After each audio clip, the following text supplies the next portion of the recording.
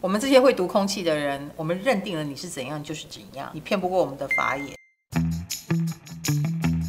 在团体当中求生存，千万不能当小白哦，时不时蹦出一两句白目的话，然后不懂得读空气，你真的会死得很难看。接下来我们就要谈哪些星座是有读空气的能力。来来来，赶快醒过来，因为你们如果不打开你们的潜能，空气也是读不到的哟。每一个巨蟹座都有一本主管饲养手册，因为把主管伺候的好好的，你的日子就会很好过呀，不是吗？所以巨蟹座非常懂得对老板察言观色，马上就知道了，哎，这样代表你心情好，那我可以加码进攻；这样代表你心情不好，那我要不然就来安抚你，要不然就离你远一点。他们也很能记住人的喜好哦。时隔一年之后，他还记住你喜欢喝什么饮料，你会不会很感动呢？那更不要说巨蟹座还有第六感，当他们第六感来的时候，这个能力就真的别人学也学不来了，就是一种灵感跟一种直觉，很自然的知道你今天心情好还是不好。再来就是巨蟹要不要的问题了。当一个巨蟹愿意，他们是很能够换位思考的，他会站在你的角度去想，我这样讲他会不开心吗？当一个巨蟹愿意这样做，通常都能够讲出很得体的话。正因为如此，所以非常多的巨蟹座是很有长辈缘的。嗯，我曾经遇过一个巨蟹座，他就是六朝老臣啊。因为每一个董事长在过世的时候，都会拉着他的手说：“请你照顾我的第二代。”不过说真的，当他们愿意配合的时候，是百分之两百的配合；当他们不愿意的时候，也是百分之两百的不配合。今天来点负能量，十二星座谁最腹黑？表面上跟你很好，背后却可能会弄你。到底十二星座为什么要腹黑？那个腹黑的 moment 又又在想什么呢？另一个呢，就是巨蟹座了。同样作为水象星座，巨蟹座的人，他的腹黑往往出于自我保护。因为他们知道自己本性当中有一部分是非常善良，然后很容易相信别人或很容易同情心，所以他们很可能就会过于善良而遭到别人的欺负。所以一旦一个巨蟹座觉得环境很危险的时候，他就要小心的保护自己。他永远有一道栅栏，不对的人，请你离我远一点，或者是这个人的话只能信几分，他心里就会有一把尺了。十二星座毛病大不同，我们就来看看他们发病的样子。巨蟹座对自己都有一个设定：我是一个好人，我是一个贤妻良母，我是一个能够忍耐或服务周到的人，所以他们超怕人设崩坏。在这个前提之下，他们会尽量的演。如果是贤妻良母的形象，就不能随便崩溃啊；如果是好好小姐的形象，就不能随便拒绝啊。他会尽量做给大家看。所以喽，如果有人要你做一些帮忙的事，就算你心里百般的不愿意，但是可能还是会接受，以防人设崩坏。所以喽，他们常常把自己搞得很委屈、很累。但是，哎，谁逼你啊？不就是你自己逼自己的吗？最后就大崩溃了。其实已经被封锁了。十二星座讨厌你的举动，有些超明显，有些要通灵才能看明白。没问题，今天我就来带你看个清楚。巨蟹会尽全力的避免跟讨厌的人在同一个场合里。呃，如果不得已一定碰到，那么就算碰到面擦肩而过，他也会完美的假装没看到。就算不得已眼神碰到了，也会给予你一个你绝对感受得到厌恶的高难度礼貌微笑，也会对你做出很多小的恶意举动。但其他人绝对不会发现，只有你知道哦。所以喽，就算你去跟别人诉苦，哎，我好像被那个巨蟹讨厌了，呃，其他人也会说，哎呀，你想太多了啦，他不会这样对你的啦，他对我们大家都很好，我看他也没对你怎样啊。这会让你有一种我是不是进入平行时空的感觉，要花很久的时间才能确定，嗯，我真的被他讨厌了。看起来很善良，其实在使坏。你眼前的十二星座有可能是哪种小人呢？巨蟹分两种。一种贴心，一种黑心。黑心型的巨蟹当然就是我们眼中的小人了，因为他没有安全感，对人性也不信任，有时候一点小事就可以记恨记很久，擅长把自己经营成受害者。我想在上一次十二星座这样就是讨厌你的影片里，已经有非常多网友的留言，让我们知道被巨蟹黑过的人有多少苦水要吐了。巨蟹的守护星是月亮，月亮可是永远有一面是暗面的哦，就看他要不要用而已。他们也很懂得拉拢次要敌人，对付主要敌人。所以被巨蟹欺负过的人，常常会感到孤立无援、求助无门，除非你装监视器。天平一定很随和，处女一定有洁癖，天蝎一定爱复仇，双鱼一定很浪漫。不好意思，你一定误会什么了。十二星座隐藏真面目来了。我只能说巨蟹的人设实在太成功了，他们就是爱家的典型，温柔包容。隐藏版的巨蟹座内心超多小剧场的，当然了，他隐藏了这么多心事，他会不会痛苦？当然很痛苦，可是他还是要隐藏，为什么？因为他们真的很在乎面子，他真的很在乎人设。他如果站上了一个贤妻良母或者是好老公的位置，他就是要演到死，虽然他演得很不甘愿。而且一个巨蟹座其实比你想象中还要更理性哦。如果遇到了他们想坚持的事情，他是一定有理由的，所以他会跟你好好的沟通，理性的分析。这个时候你就会发现，嗯，你们不是一个很容易崩溃的星座吗？但其实不是。行走江湖，会做事还要会做人，偏偏十二星座各自有自己的盲点，得罪人了还不自知。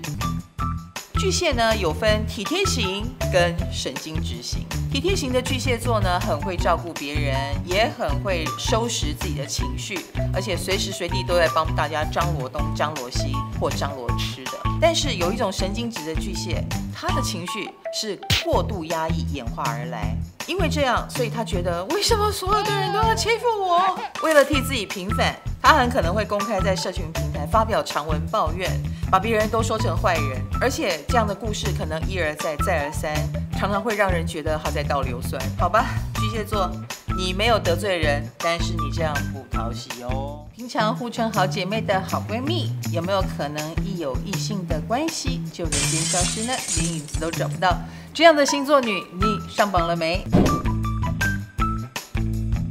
很多巨蟹女有自己的人生进度表，几岁要交男友，几岁遇到谁要结婚，几岁生孩子都定得好好的啦哦。如果眼前的对象是巨蟹女，认定以结婚为前提交往的，她就会很专心的谈恋爱，专心到朋友都约不出来，时间全部留给男友，而且不是热恋期而已哦，交往好一阵子，巨蟹女还是会以男友的时间为主，其实在她看来就是以家为重啦。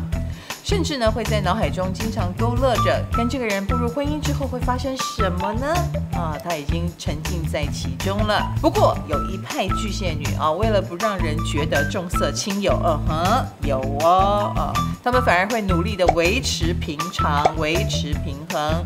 尽量也照顾好姐妹，毕竟她很重视人设，她可不希望以后流传出去她是重色轻友，这是不可承受之重哦。日防夜防，小三难防。作为女人，我们都有当正宫被小三介入的经验，有吗？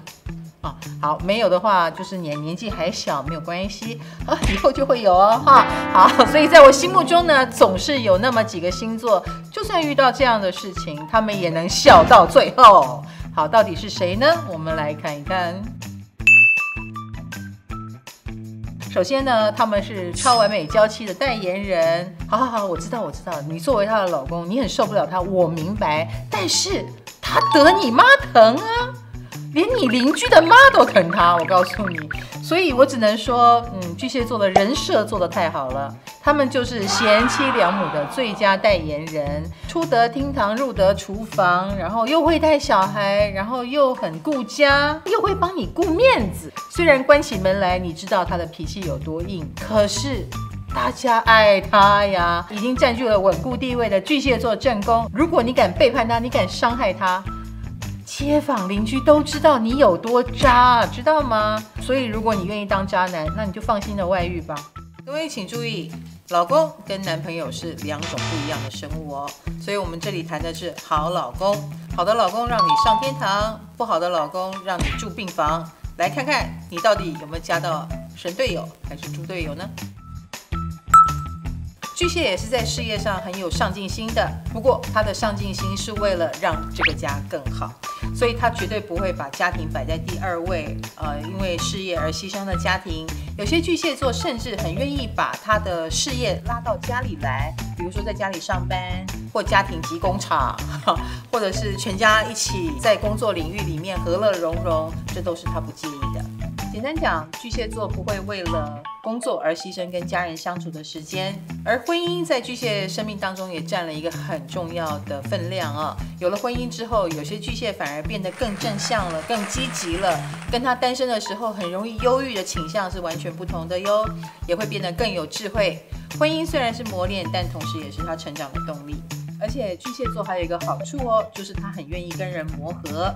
如果两个人在一起有合不来的地方，巨蟹会想说：“那没关系，我来改。”他愿意改，就表示你是他的真命天女。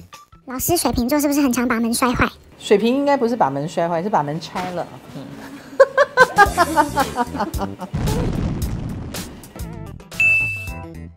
巨蟹座如果生气，那么就分三阶段：生闷气、躲起来、爆哭。不要忘记，巨蟹是水象星座嘛，水象星座就是情绪特别容易受波动。一开始有些巨蟹座还蛮迟钝的，他通常可能没感觉，可是直到他的朋友来跟他抱不平，把事情绘声绘影的说了一遍，巨蟹座才会越想越气，越想越委屈，然后就越来越生气了。其实巨蟹座的气呢，是因为他有委屈的感觉，很可能觉得没有被你善待，没有被你看重，可是他又说不出来，他就会缩回他自己的壳里躲起来喽。所以我只能说，巨蟹座如果生气的话，通常苦的是自己。老师，那哪一个星座的控制手段是最厉害的？既有外功也有内功，情感勒索也是一流哦。看啊，厉害厉害！看起来很随和，其实在控制。十二星座谁是控制狂中的控制狂呢？巨蟹座是心理控制大师，他们有控制别人心理的能力，而且巨蟹非常重视人设，会不着痕迹的呃塑造了他的形象。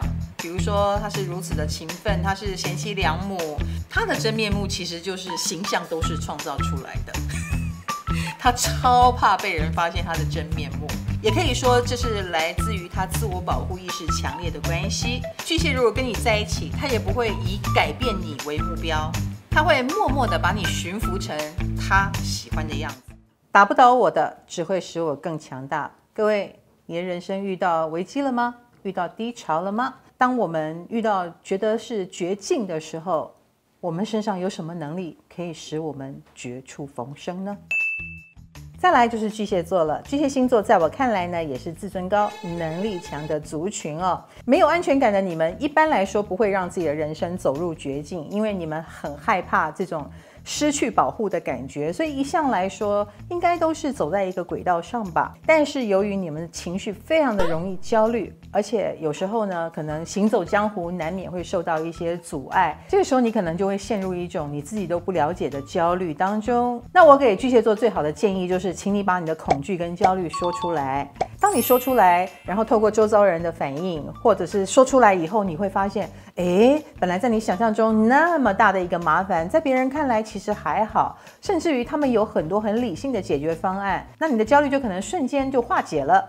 你就会发现，原来绝处有一半是自己想象出来的，悬崖好像也离你还有一段距离。我相信那个时候你就会好很多了。又到了年底或年初的时候，这就是工作大奔风的高峰期哦。除了老板废掉员工，也有员工废掉老板哦。本公司一个想离职的小编就做了这一则专题。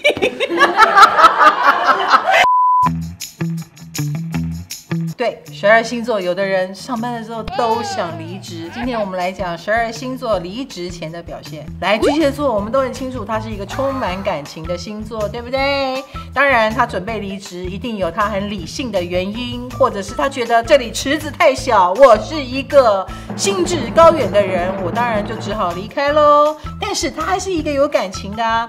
他又是一个很在乎自己人设的星座，所以他走了也要留给你们好印象啊！一定要舍不得大家，哎，那你留下来啊！其实巨蟹在做这个离职的决定之前，他们会挣扎很久。的确，他是一个很容易没有安全感的星座。他知道自己现在眼前很崩溃，但是他也知道走了以后下一个未必会更好。